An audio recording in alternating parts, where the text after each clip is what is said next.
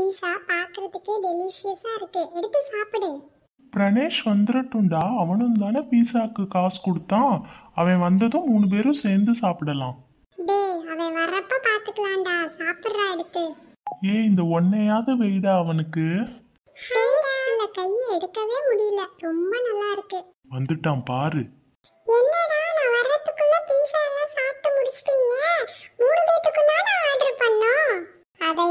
ஏன் கேட்குற நீ வந்ததும் சாப்பிடலான்னு பீஸாவை வாங்கி மரத்துக்கடியில் வச்சுட்டு ரெண்டு பேரும் உனக்காக வெயிட் பண்ணிட்டு இருந்தோம். அங்க பாரு மேல ஒரு காக்கா தெரியுதா? அந்த காக்கா வந்து எல்லா பீஸாவையும் சாப்பிட்டுட்டு மேல போய் உட்காந்துக்குச்சு ஒன்னால எங்களுக்கும் பீஸா கிடைக்காம போயிடுச்சு. காக்காவா? அது எங்க இருக்கு? காணமே. ஆமா அது நீ வர்ற வரைக்கும் வெயிட் பண்ணிட்டு இருக்கோம். அது பறந்து போயிருக்கும். சரி சரி வருத்தப்படாதீங்க. என்னாலதான் உங்களுக்கு போச்சு. நாளைக்கு நான் அம்மாட்ட காசு வாங்கிட்டு வந்து உங்க ரெண்டு பேத்துக்கும் வாங்கி தரேன். சரியா?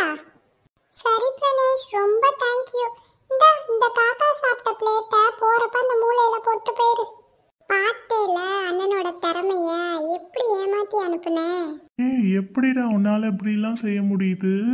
டேய் அவன் ஒரு இழிச்ச வாயண்டா அவனை ஈஸியா ஏமாத்திரலாம் உண்மைதான் உண்மை. ரொம்ப சுலபமாக ஏமாறக்கூடியவங்களை இளிச்சவாயன்னு சொல்லுவாங்க. அதை இங்கிலீஷில் எப்படி சொல்லலாம்?